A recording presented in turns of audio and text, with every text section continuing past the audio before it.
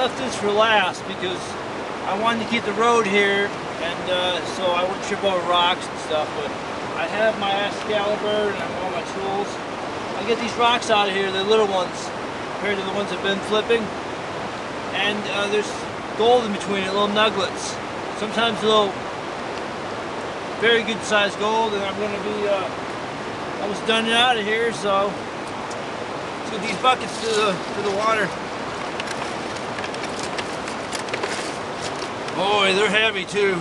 60 pounds a piece. I break the handles out, you get so much in there.